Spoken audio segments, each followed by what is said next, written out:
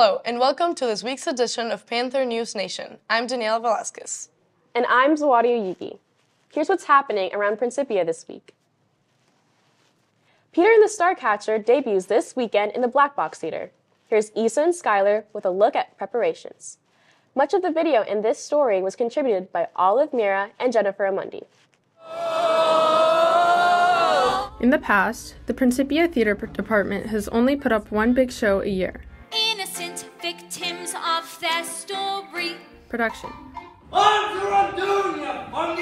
But this year, they are introducing a fall play in the Black Box, Peter and the Starcatcher. So, Peter and the Starcatcher is the fall play that we're doing. It's based on a book by Ridley Pearson, who was a Principia dad.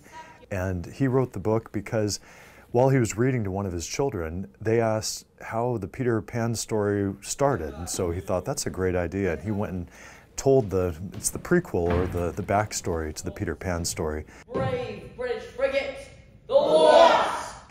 That in turn became a play that was very successful on Broadway and now is one of the most uh, highly produced high school plays. And so we thought it was a great opportunity and we had the cast that could do a great job with it. Peter and the Starcatcher is a pretty unique show. It's very much a comedy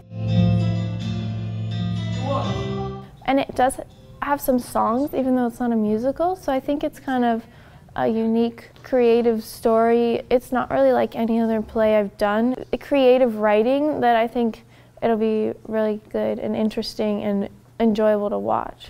The fall play differs significantly from production in the size of the cast, the location, the size of the audience, the type of show, and more.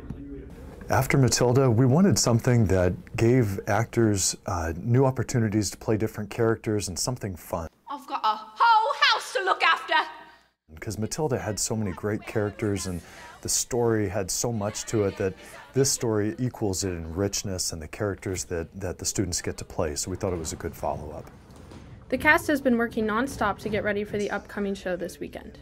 I think that is different because it is a smaller cast and we are able to take on many different roles in the play. People are able to be used a lot more in the play versus the production. This is Skylar and Issa reporting for PNN. Tickets to Peter and the Starcatcher are still available. Meanwhile, academic support looks very different this year. Collins finds out why in this report.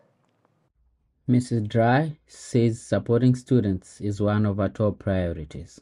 When I identify a student that has a GPA that might be a little low, then we like to put some structures in place that can support them to lift their GPA. Sometimes children know that they need help, but they don't know how to make that help happen. And so they might not seek out a quiet environment to get their homework done straight after school. But when I say to them, you need to come to this time, you need to come and sit after school and get your work done, that's helpful for them. Teachers say this new structure helps them as well. It creates a time and a place for students to get caught up. Part of our role is to help students develop a system. Because we want to see all our students succeed. If a student uses their class time really well, and uses their study hall really well and not watching YouTube or games or whatever, and make sure that every day, whatever has to be handed in is done, just day by day, they won't get into the situation. For the most part, students say they like the new support system. You know, being able to check in with teachers and being able to get that support that you need to boost it, I feel like it's very beneficial definitely focus on doing your homework and turning it in.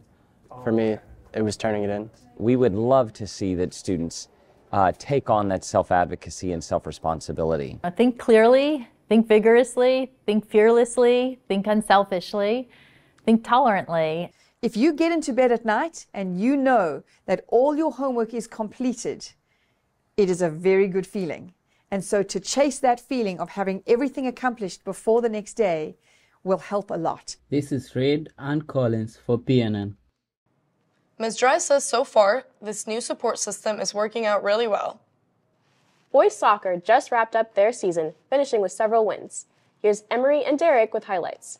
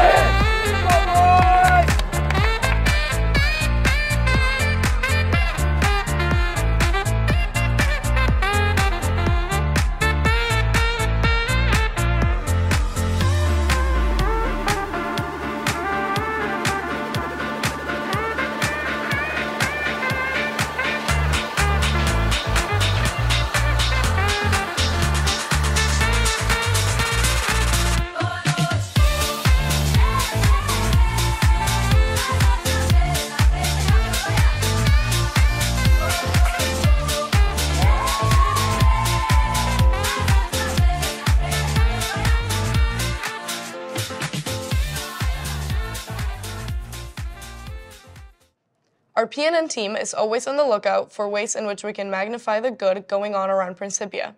This week, we turn the spotlight on Paris Patterson, who was caught doing a good deed.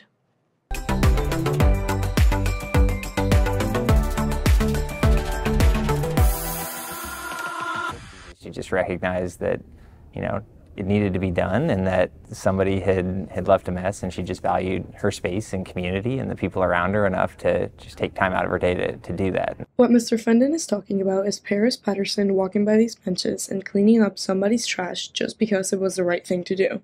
It's just something that's expected of us, and I'm very thankful for it to be a part of the praying community. As I came around the corner, I saw that uh, a bunch of dishes and uh, glasses trash had been left on the picnic tables from the night before. And Paris didn't see me coming, but she was already over there gathering up all of the trash and the dishes, and she came carrying, you know, an armful of dishes to go into the dining room. It's an act of service that Mr. Fendon says we should see more of at Principia. Having a mindset of what can I do for someone else today, and when you're looking for those opportunities to give and to find a way to help someone, then you see abundant opportunities all around you, whether that's picking up trash or holding a door or you know picking somebody's things up that they, they drop and and I think it's just that slight shift in, in your thought. This is Daniela Velasquez reporting for PNN. Be sure to let us know if you have an idea for magnifying the good. And finally, this week's Dry Care Factor turns its attention to the faculty.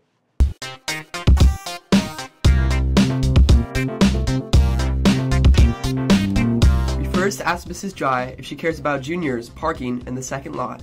Ooh, juniors! Juniors, so I flippantly mentioned having our wheels locked. I think I'm going to investigate that with security. That if juniors are parking in the wrong place, I did have another solution. I thought we could just put a boom gate and then the seniors get a special swipey swipe, boom goes up, they can park in there. If you don't have the swipey swipe, you don't get to park. Yes, my care factor is 10. Do the right thing, juniors, park in the right spot. We then asked her, why is it important for teachers to be taking attendance? Because legally, we have to account for every child in the building in every period. And so the teachers have to tell us where kids are. This is all where the unexcused tardies get have come from. This is where if a parent thinks that they've dropped their child off at school and they're not at school, where are they? So it's literally a legal thing. And so instead of Mrs. Ball running from classroom to classroom, she has now, I've asked her to please use the loudspeaker over the intercom to remind those teachers. So if it's interrupting your classes, care factor, zero. We need attendance taken. And that's our look at what's going on around Principia this week. Make it a great week. yeah. So good.